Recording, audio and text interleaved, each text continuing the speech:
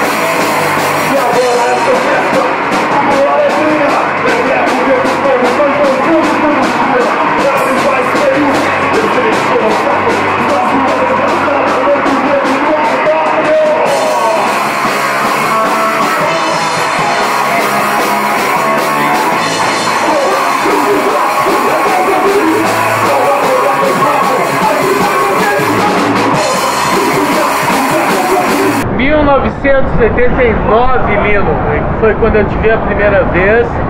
E foi do caralho que tu já saiu me chamando de loucão naquele boteco lá que tinha. E foi ótimo, eu achei tranquilo, achei o máximo. E eu me senti muito bem sendo recebido por aquele pessoal todo lá. Quem me levou foi um cara das antigas que nem anda mais aí, que é o Kiko Cara, foi a mesma coisa. Chega aí no bar, pirralhinho de tudo. Ele me apresenta a primeira coisa que o velho me fala. E aí, loucão?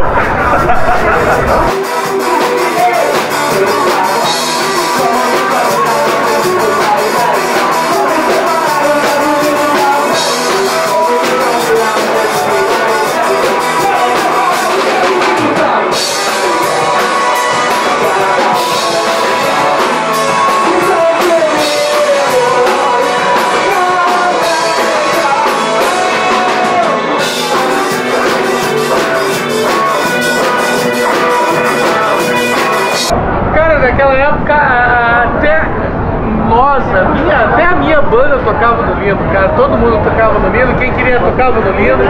Era um bar democrático pra caralho. E foi o único lugar que eu via que cabia os caras que eram cabeludos, cabia os punks, cabiam os carecas, cabia o caralho a quatro lá.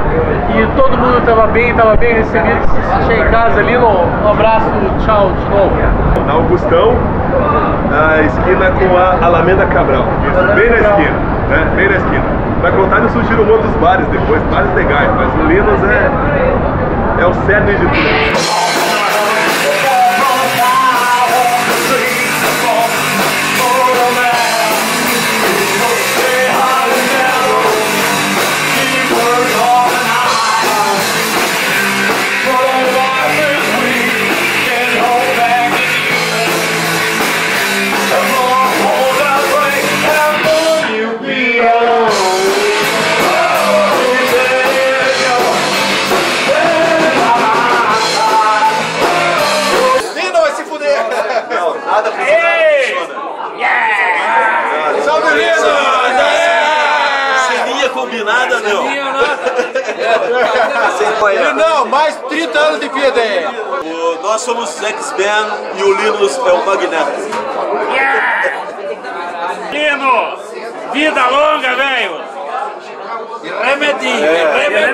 Remedinho. É, pare de beber que o fígado estoura uma hora, velho.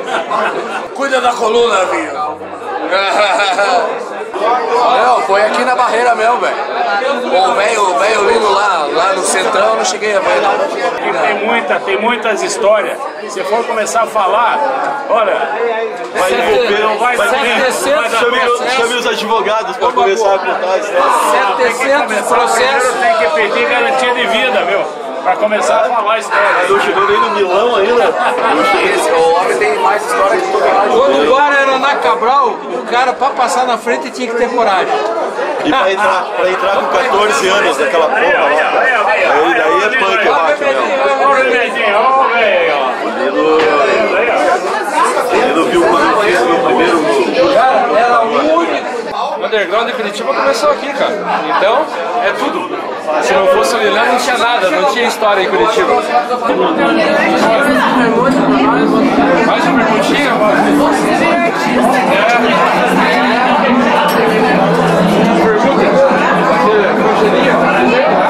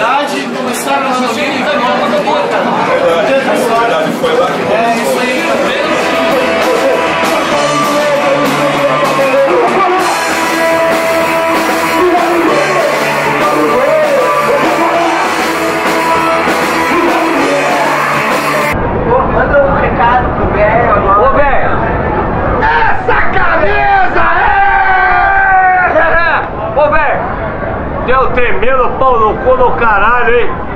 Boca de bueiro.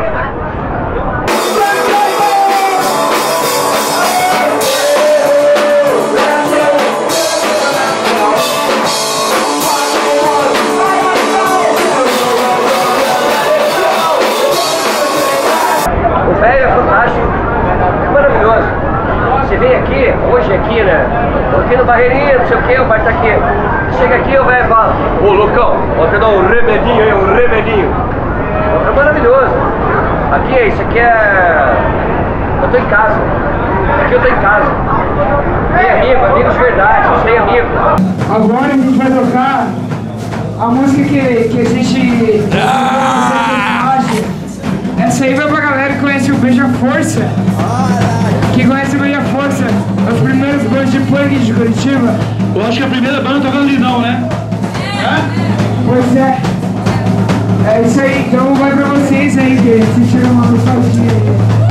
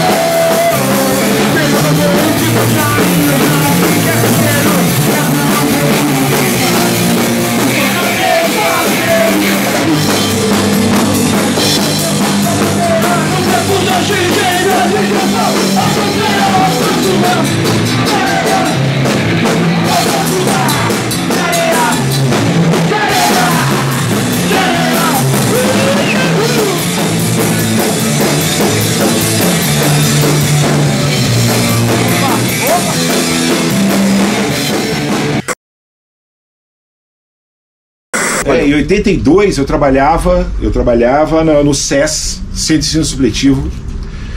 É, eu dei aula de geografia, fazia sociologia nessa época, então eu dei aula de, de geografia nesse negócio. Mas tudo bem, era um lugar ótimo. E na mesma rua, no meio do caminho, tinha o Lino. Então eu saía de- desse lugar e subia para minha casa aqui. O Lino chamava Tip Top, eu acho, que era o bar dos velhinhos.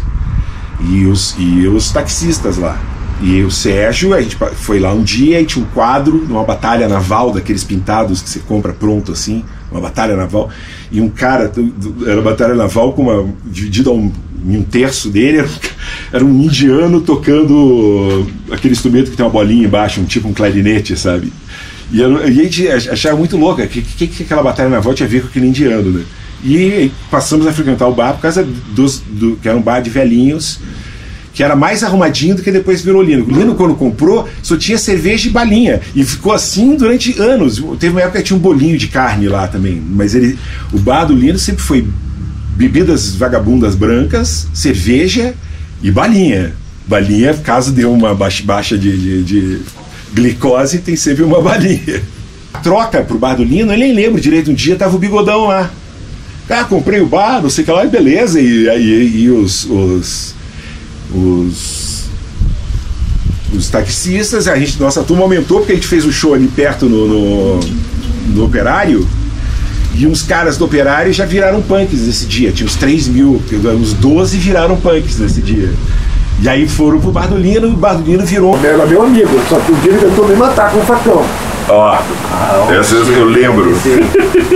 Cara, tá só tinha um banheiro naquela porra, tá? Podre, podrão, mas era o que tinha. Então você evita dar a primeira mijada. E eu tô bebendo desde tarde ali, quando chega ali pelas, não sei, 19, 20 horas por aí, cara. Cara, me dá o um desespero. Eu lembro que eu tenho que mijar e me dá o um desespero. E eu vou pro banheiro. E tem uma fila de cinco caras na minha frente. Cara, eu em vez de, de sair, eu achei o herói, né, cara? O bonzão. Tiro o pau pra fora e mija ali mesmo, na parede. Curitiba era, era muito mais Dalton, Daltoniana do que é agora, sabe assim? Era uma cidade pequena. Eu realmente ouvia meus passos andando à noite, voltando para casa. Ainda você ouve isso, mas é muito, você tem que estar muito mais longe do que era do, do, do, do, de subir a Alameda Cabral, por exemplo, sabe?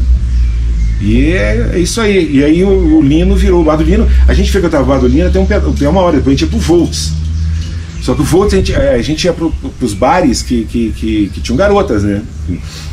No, e a gente ia ficar no Lino lá. Então a gente bebia no Lino de 6 às 11, depois ia pra, pra night, né? Que o Lino também fechava, ele gostava de fechar cedo. Viajamos, viajamos, foi embora.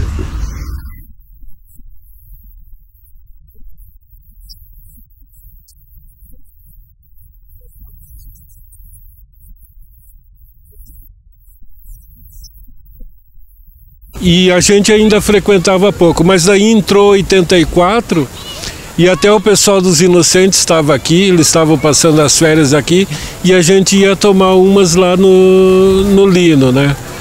E o tempo foi passando, o Rodrigão morava na frente, né, do, ali na Alameda Cabral. Até que um dia o Rodrigo desceu lá e falou, o beijo estava sem lugar para ensaiar. E o Rodrigão falou: pô, a gente não pode tocar aí?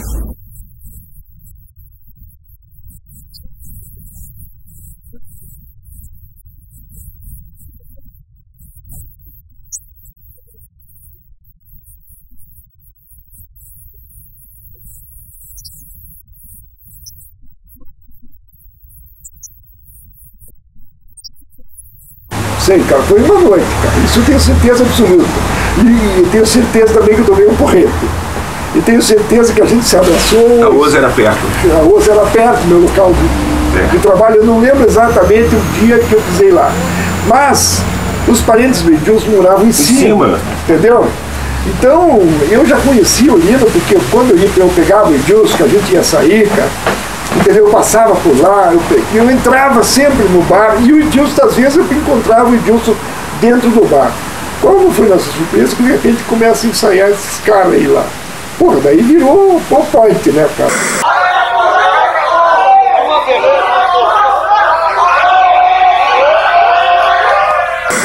Eu agradeço a apresentação de vocês aqui, fazendo hoje 33 anos do Rock é, inclusive passando por vários momentos difíceis. Tu é bom, a pinguinha é boa, né, cara? Uhum. Mas que deu um bagaço aí.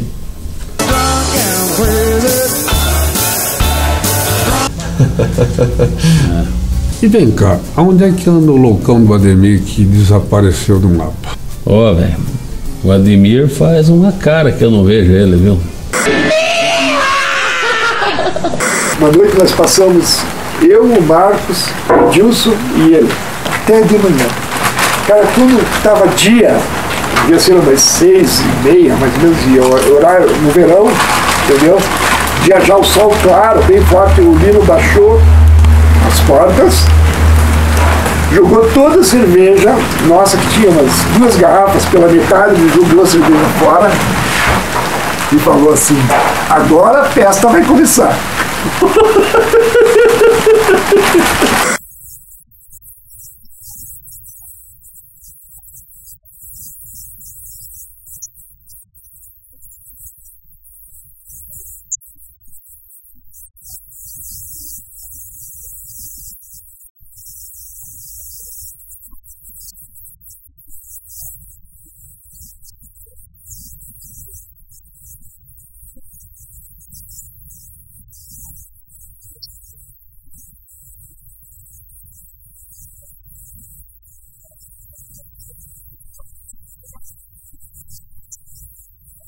Daí a gente botava a mesa de sinuca pro lado, como sempre foi, né? Quando a moçada começava a tocar. Então a gente começou a ensaiar e tocar lá. E, e daí o, o, os punks da cidade, que ainda era num número pequeno, começaram a ir para lá. E, e chamar a atenção de outras pessoas que gostavam de rock, né? Então o ano de 84 assim foi uma loucura lá. Tinha poucas bandas, mas é, aquilo lá enchia e o grande dia era, era domingo à tarde.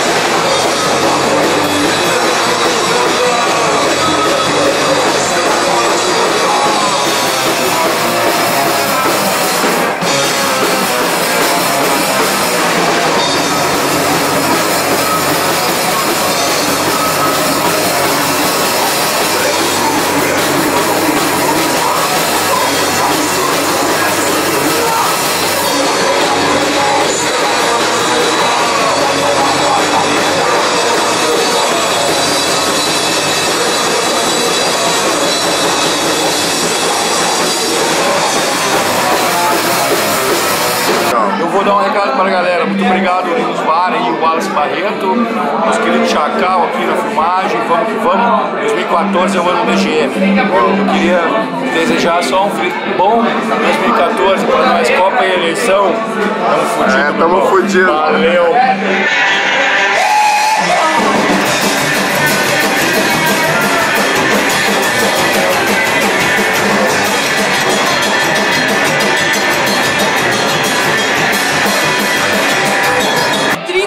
anos abaixando a porta do bar, uma hora dá problema, é possível. Esse velho se Dá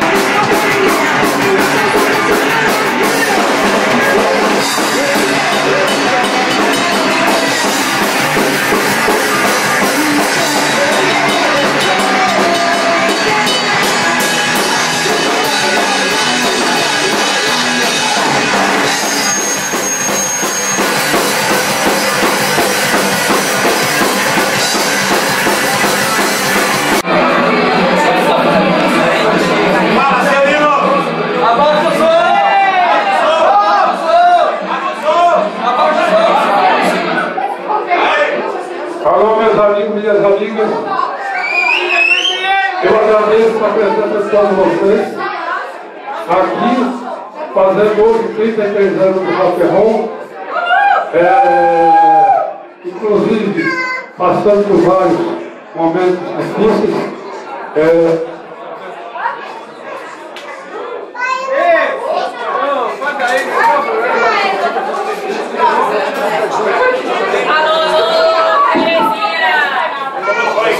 Aqui, ó, Nino. Vai aqui, ó. Deixa assim não, aqui, ó. Aí, aí, vai. Oi? Aí. Aqui, ó, Nino. Aqui,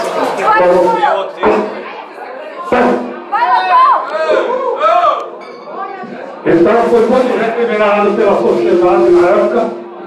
Eu peço,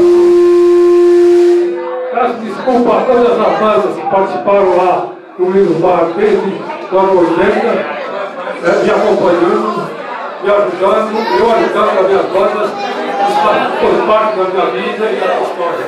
Não tem nada pra você Eu tenho que, acima de tudo, agradecer meus amigos, minhas amigas de novo, porque, porque eu continuo ainda no rock and roll e vai ser difícil eu me aposentar do rock and roll.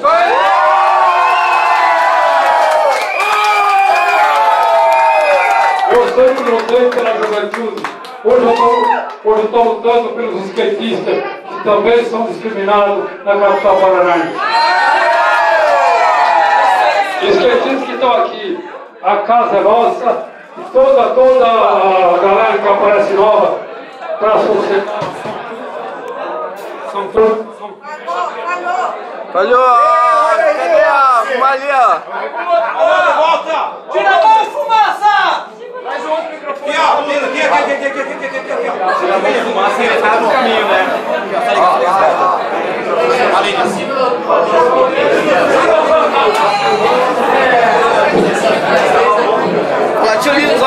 Inclusive a minha vida passada no rock and roll e de toda ah, essa galera, eu me sinto feliz, eu me sinto eh, com muita emoção, vocês dão energia positiva, nunca seja eh, parte negativa. A banda vai dar certo, sempre, você sempre vai dar certo.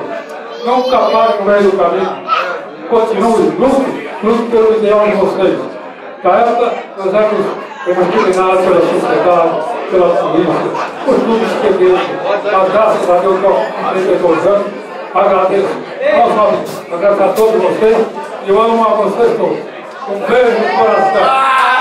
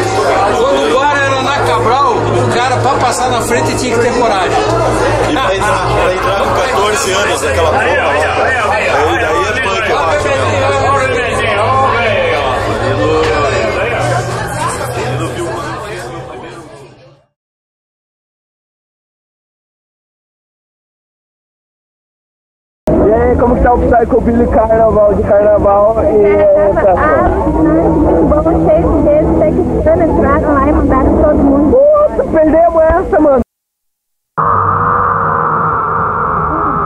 E o Mengão, vai cair o Mengão não?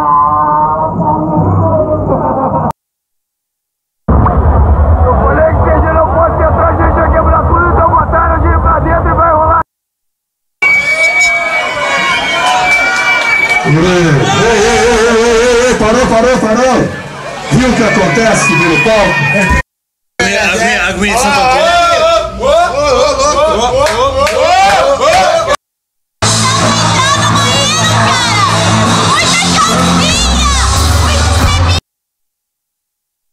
Só uma coisa pra você, nessa o que eu tô fumando, principalmente Mordova, não pode divulgar, cara. Não, claro que não. Porque família, família. Eu, eu tô muito feliz com a Marielle, dela ter